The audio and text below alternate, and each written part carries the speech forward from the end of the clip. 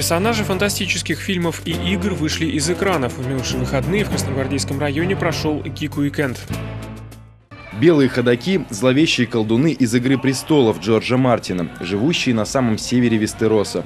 По сюжету культового американского сериала они нападают на людей, либо съедают, либо делают частью своей многотысячной армии. Однако один из них оказался прямо посреди Петербурга и почему-то называет себя Дедом Морозом. Дети любят Деда Мороза. Я подарки приношу. Тем, кто плохо себя вел, не приношу. Вот он себя плохо вел, подарков не будет. Такое шоу с перевоплощением называется косплей, от английского «костюмированная игра». Любители становятся персонажами видеоигр, комиксов, фильмов, сами делают себе костюмы и разыгрывают сценки, чтобы передать характер своего героя.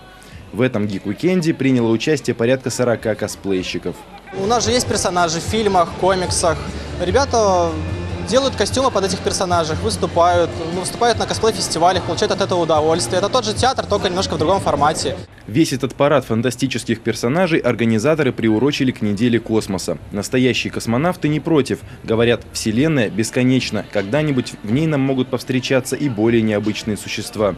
А пока для расширения кругозора землян в рамках Weekend прошли тематические выставки и встречи с космонавтами-испытателями.